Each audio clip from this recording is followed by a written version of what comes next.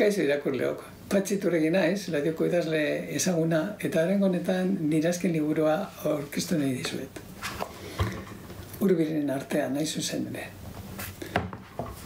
Dakizunez, e, duela egun urte, e, munduak ordura arteko gerrarik gogorrena bizi izan zuen.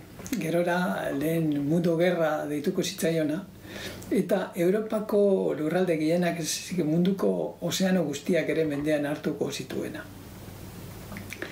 Bilboko itxasuntziak bandera neutrala zuten ez, zeuden ofizialki gerran. Baina gatazka orokorrak ondorio nabarmenak izan zituen, bai ekonomian, bai industrian, baita iriko biztanleen artean ere. Hortaz, giro nabar eta nazi hori fikzioaren esparrura ekarri nahi izan dut dozena bat ipuinetan. Non bateko eta besteko espioiak portuko eta ontxioletako langilekin nazten diren, kontrabando ilegalean dabiltzan merkanteak urpeko alemanekin, eta langabetuen nestutasunak zenbait jauntxoren irabazi nahiarekin.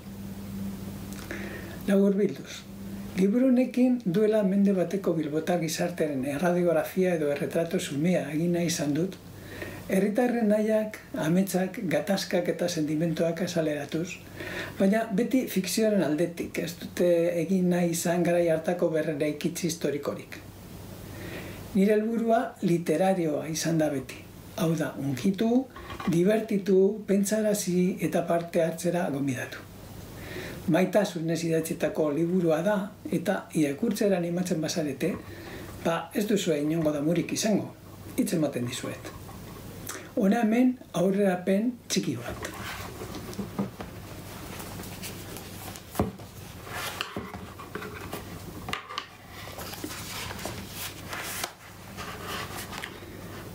Erioa zelatan. Denboralea hasi zenean itzazabaleara egin zuten. Kostako miatzuak saiesteko asmoz. Eta orain, urakan aize eta korronte mudakorren eraginez, oiko itxasbidetik erabat aldendurik, nekez esan dezakete, zehaztasunez behintzat, non aurkitzen diren. Izan ere, tangerretik atera zirenetik, ostarterik gabeko zeru estaliak baino ez dituzte ikusi buru gainean. Eta jakina, izartegiko astroen laguntzarik gabe, sextantea baztertu eta estimazio analitikora jo behar izan dute ezin bestez. Otxiaren gutxi gora berako pozizioa kalkulatxarren. Bitartean, dena izan dute hotz, olatu eta frontu. Negu garaia datorrelarik, eskazak izan ohi dira gizakiaren lan baldintzak ipar Atlantikoko paraje hauetan.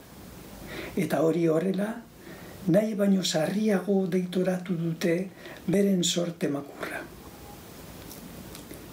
baina ez dira erabat errugabeak. Argi daukate zerke karri dituen bakardade hauetara. Urteko sasoirik gogorrenean.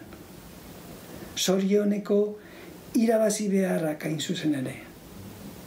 Inor espaitabil itxasoak hausten musutruk.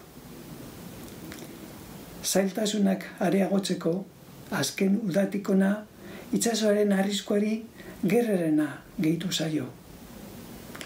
Bistan denez, atzeten gutxi eta neke ugari itxastarrentzat.